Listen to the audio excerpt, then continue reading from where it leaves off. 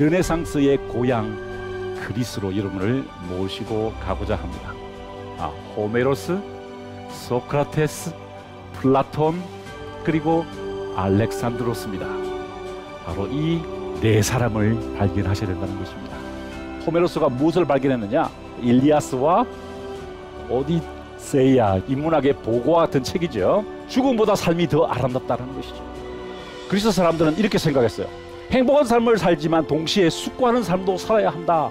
소크라테스가 발견한 개념인데요. I only know that I know nothing. 나는 아무것도 알지 못한다는 것입니다. 늘 배우는 자세, 늘 숙고하는 자세, 그것이 필요하다는 것이었습니다. 플라톤, 바로 이 사람이 한 말이 무엇일까요? 반짝인다고 모두 금은 아니라는 것이죠. 사랑을 통해서 우리는 이데아를 발견할 수 있다. 자, 이러한 그리스의 정신이 누구에게서 나타났을까요? 바로 알렉산드로스 대왕에게 나타났습니다. 그리스 철학의 지혜를 자기만 가지고 있는 것이 아니라 이것을 전 세계에 확산시키려고 합니다. 그는 자신의 생활 방식을 원주민의 생활 방식에 적응시키는 한편 원주민들도 마케도니아 그리스의 관습을 받아들이도록 했다. 세계를 향해 큰 뜻을 품었다는 것이죠. 자, 그런데 왜 이 그리스가 망했을까요? 배타적이었다는 것입니다. 약자들을 배려하지 않았다는 것이죠.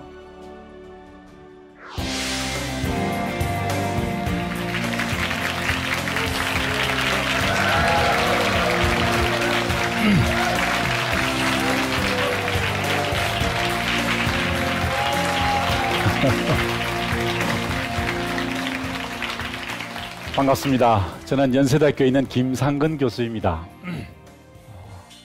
여러분과 함께 아름다움의 시대, 빛의 시대, 그 창조의 시대, 르네상스를 향해서 한번 멋진 여행을 어, 떠나보고자 합니다. 지난 시간에 우리가 그리스 여행을 했는데요. 이제 르네상스의 기억이 되었던 로마는 도대체 어떤 시대였을까? 아니 르네상스 시대 사람들은 도대체 로마의 어떤 모습을 기억했을까? 그것에 대해서 한번 생각해 보는 시간이 되었으면 좋겠습니다. 유럽의 지도인데요. 자, 이 로마가 어떻게 확장됐는지 한번 보실까요? 처음에 로마는요, 이탈리아 반도 중앙부 라티움 지역의 어떤 작은 마을에 불과했습니다. 이 강가에 그냥 몇 개의 부족들이 모여 있는 그 지역에 처음 정착한 것이 로마 조개들이었습니다. 로마였습니다. 그것이 로마의 시작이었어요. 그런데 벌써 공화정 초기 중기쯤 됐을 때는요. 보시는 것처럼 이렇게 에스파냐 그러니까 스페인과 그리스를 모두 차지하게 됐고요. 카이사르 시대는 고을 지방 지금의 프랑스죠. 뿐만 아니라 밑에 보이는 아프리카 북단 지역과 지금의 터키 지역 페르시아 지역을 차지하게 되었다는 것이죠. 그리고 이 로마 제국이 최고의 전성기에 이르렀을 때 이른바 오현재 시대의 로마의 국경선은요. 저 멀리 영국의 에딘버러 쪽 예, 그쪽부터 여기 보이는 메소포타미아까지 지금 EU보다 훨씬 더 큰 영토를 가지게 되었다는 것입니다. 거대한 제국이 되었다는 것이죠. 세계를 만나게 되었다는 것입니다. 다른 세계를 만났다라는 뜻입니다. 예? 그래서 많은 사람들이 로마를 어떻게 했냐면은 문명의 본산이다.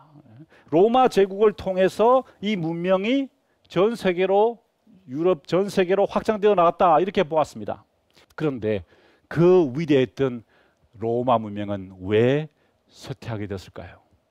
왜 이렇게 스산한 유적지만 예? 암울한 유적지만 남게 되었을까요? 로마 제국은 왜 멸망했을까?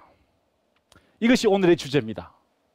르네상스 사람들이 그렇게 기억하고 싶어 했던 로마, 그들은 어떻게 해서 그렇게 위대한 제국이 되었고 또 어떻게 했길래 그렇게 위대한 제국은 쇠퇴하게 되었을까? 그래서 르네상스 시대 사람들에게 기억으로 남게 되었을까? 로마는 왜 위대한지 아십니까? 아래 세 사람이 있었기 때문입니다. 아이네아스, 로물루스, 스키피오였습니다. 이 세 사람이 있었기 때문에 로마는 위대한 제국이 될 수 있었습니다. 물론 이 사람들은 가상의 인물일 수도 있습니다. 하지만 이것이 바로 이 사람을 통해서 로마의 정신이 구현된 것입니다. 로마가 세계를 만날 수 있었던 것은 이 세 사람, 비록 상상의 인물도 포함되어 있지만 이 세 사람들의 정신이 세계와 만났기 때문이라는 것이죠. 첫 번째 인물 아이네아스를 여러분께 소개해 드립니다. 여러분 잘 아시는 로마의 건국 신화는 아이네이드라는 책에 기록되어 있습니다. 어, 기원 전후에요. 예, 문학가였던 문필가였던 베르길리우스, 뭐 베르질리우스라고도 합니다. 영어로는 버질이라고 그러죠. 이 베르길리우스가 쓴 책이 바로 아이네이드입니다. 이 아이네이드는요.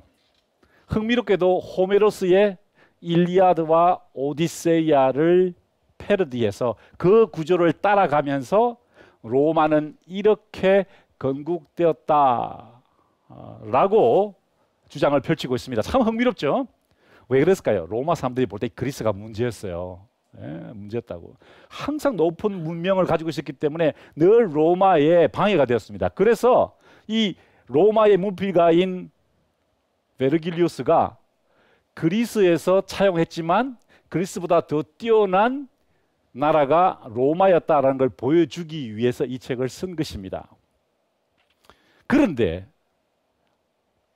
오디세우스의 그리고 아킬레우스의 그 영웅이 겪었던 고난과 좌절, 그 투쟁과 눈물과 땀에 대해서 그대로 받아들이면서 이 베르길루스가 로마의 신화를 썼다는 것이죠.